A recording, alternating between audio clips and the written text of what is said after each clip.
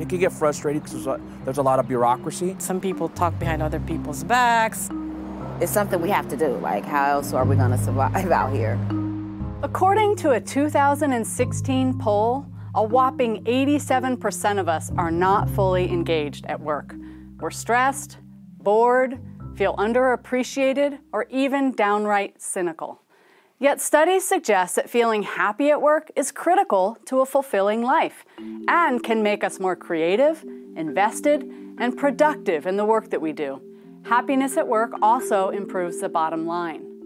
So, how can you be happier at work? I'd like my work to be a little bit more flexible. Less stress. Better furniture, uh, better lighting, open spaces. Better pay. For years, researchers have been studying what makes our jobs feel meaningful, engaging, and fulfilling. We'll reveal the central insights of this robust and growing science in our new series of online courses focused on the science of happiness at work. I'm Dacher Keltner. I'm the founding director of the Greater Good Science Center and a professor of psychology at UC Berkeley.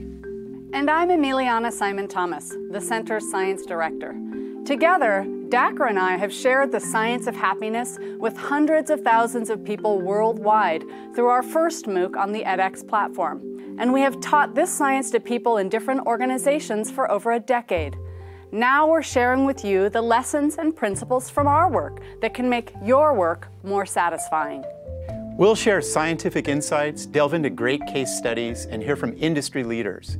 And joined by Dr. Eve Ekman, our Director of Training, we'll also give you concrete, practical strategies that you can implement into your work life right away for creating a happier workplace for you and your colleagues. So enroll now. Together, we'll make the science of happiness work for you.